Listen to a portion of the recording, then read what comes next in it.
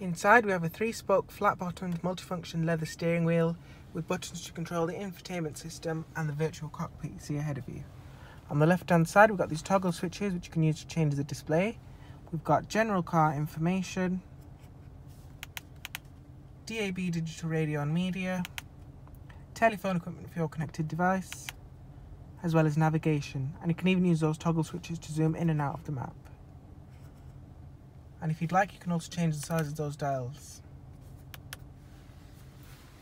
Moving to the centre console we have this 10.1 inch MMI navigation plus display screen with functionalities such as DAB digital radio, media controls for your connected device, telephone equipment for your connected device, as well as navigation with 3D mapping as you can see here.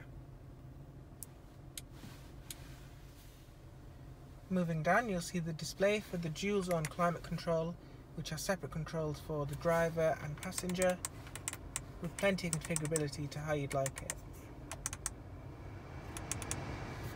And on this model we also have the comfort and sound pack which adds extras such as the heated front seats, reversing camera, park assist,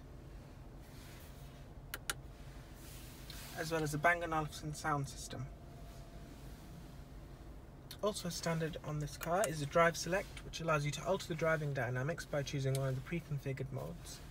As you can see there's a few modes to choose from, with dynamic being our personal favourite as it's the most driver focused.